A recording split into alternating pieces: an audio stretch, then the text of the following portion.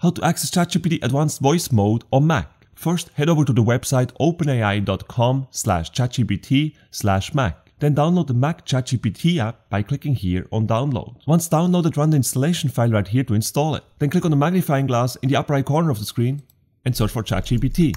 Then click on ChatGPT to open it up. Next, log into your account. And finally, to access ChatGPT Advanced Voice Mode on Mac, click at the Advanced Voice Mode button here at the bottom. Then choose a voice. Hey, what's up? Feel free to ask me about anything. Hi there. Nice to meet Hey, how's it going? I'm looking forward to working together. and click on Get Let's Started. figure out where to start. Then click on Allow to allow microphone access. Next, we put this window somewhere in the corner. And let us open up a browser now. I will go with Google Chrome.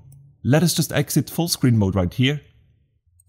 So that our advanced voice mode is also visible here on the screen. I will just reposition the window a little bit like this.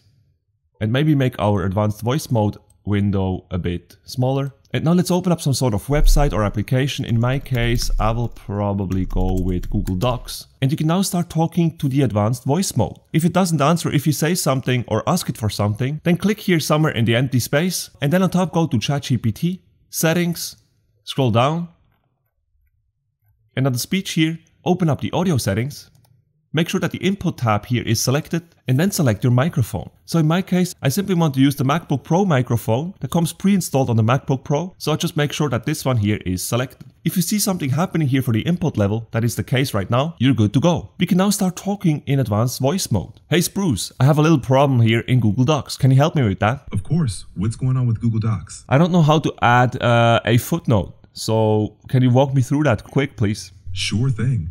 In Google Docs, adding a footnote is pretty straightforward. Here's how you do it. Place your cursor where you want the footnote number to appear in the text. Go to the top menu and click on Insert. From the drop-down menu, select Footnote. A number will be inserted into the text, and you'll be taken to the bottom of the page where you can type your footnote. And that's it.